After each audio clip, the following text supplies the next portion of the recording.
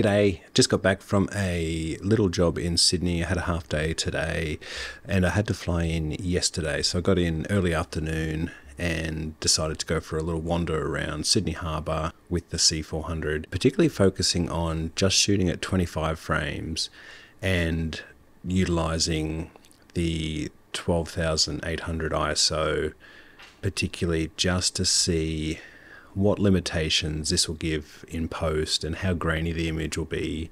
Just kind of pushing it because there's no doubt this camera is going to have beautiful images at ISO 800 and in good available light. There's no doubt. But it's knowing and wanting to know how far I can push it in the situations where I'm not going to have ideal lighting. And that's particularly what I'm most interested in in testing, or what I was most interested in testing uh, in my first couple of days with having this camera. So the weather was beautiful. Uh, I did shoot a bunch of it at ISO 800, but I'm just mainly focusing these tests at that higher ISO. And I also wanted to shoot at 25 frames because, you know, everything looks great, smooth at 50 frames and slowed down. So just knowing when I have to do run and gun broadcast stuff at 25 frames, it's just good to know how to look and how the camera will behave. Also, I uh, did a bunch of testing of the telephoto option, which gives you the 1.5, 2, 2.5, and 3 options. So you're shooting in 4K, it just crops in.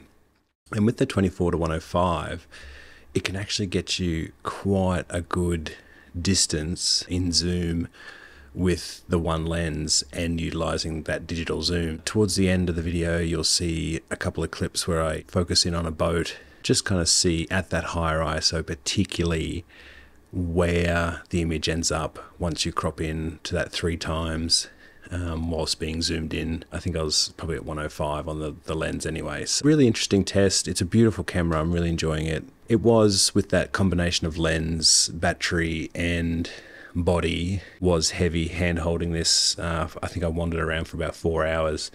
So I definitely will be using my Easy Rig to shoot mainly with it. But otherwise, uh, thank you, Sydney. It was a beautiful day. Had a great job this morning. Hope you enjoy the footage. Let me know if you have any questions, and otherwise, we'll catch you soon. Cheers.